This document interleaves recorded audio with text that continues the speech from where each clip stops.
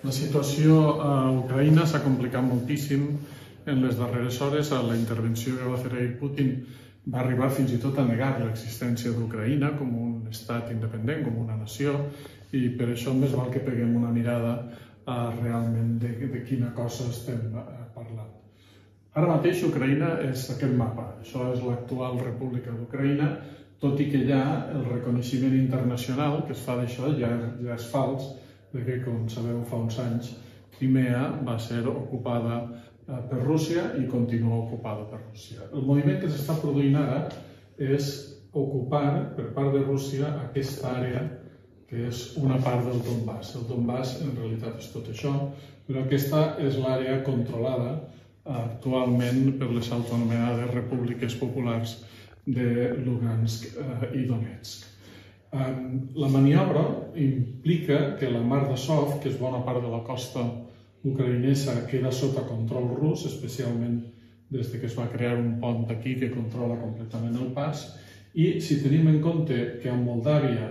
hi ha el Transnistria, que és una zona també ocupada eh, per Rússia, és una república proclamada independent ocupada per Rússia, i eh, l'interès que Rússia sempre ha tingut per Odessa, és fàcil entendre que la primera part de la maniobra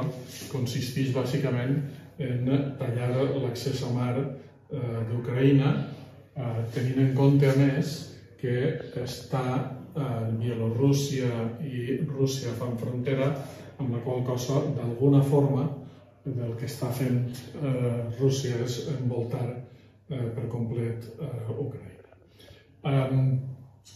Putin va dir ahir que Ucraïna no existia, perquè la formació de l'estat ucraïnès havia estat una formació complicada. Això fins a un cert punt és veritat, com pràcticament tots els països del món.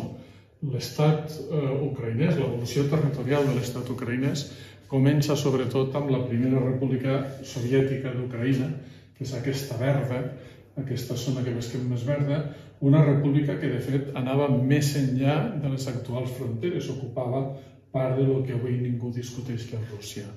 A aquest bloc territorial inicial eh, se li van fer grans afegits amb el pas dels anys. Primer se li va afegir tota aquesta àrea que era bàsicament part de Polònia, en el moment en què Polònia, eh, Rússia ocupa una part de Polònia i tira una part de Polònia cap a ocupar una part d'Alemanya, doncs aquesta zona, concretament, eh,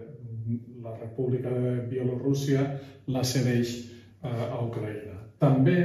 li venen a parar a Ucraïna parts del que era Txecoslovàquia, del que era Romania i del que era Moldàvia, amb la qual cosa es configura una república més gran del que en principi era diguem, la república cor, la república mare d'Ucraïna. I Stalin, efectivament, regala eh, Crimea com un gest de bona voluntat eh, i pensant que mai eh, Ucraïna i Rússia se separarien, li regala a Crimea a, a Ucraïna. Amb això queda configurat l'actual territori eh, de l'actual territori ucraïnès, però això no vol dir que no existisca la nació ucraïnesa. De fet, si mirem un mapa de llengües per municipis, eh, és evident que Ucraïna, l'ucraïnès, és la llengua més parlada en la gran majoria del país. No ho és a Crimea, és veritat, no ho és a la Bessaràbia, i si ho és en aquestes zones més de frontera, eh, el rus té més pes en aquestes zones més de frontera, n'hi ha una raó molt senzilla que m'explica. Són grans àrees industrials, minaires, que eh, grups o ciutadans russos que vivien a Rússia s'hi traslladen a, a treballar